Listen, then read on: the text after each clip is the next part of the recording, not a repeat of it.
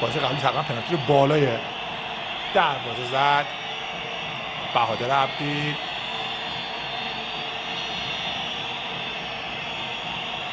حرکت می‌کنه. ضربه رو می‌زنه عالی می‌گیره.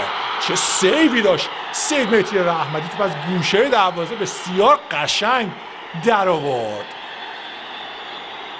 یه باری با هم نگاه می‌کنی. خون دستش رو قشنگ شیرجه رفت سمتش و توپو در آورد این که رحمتی گرفت.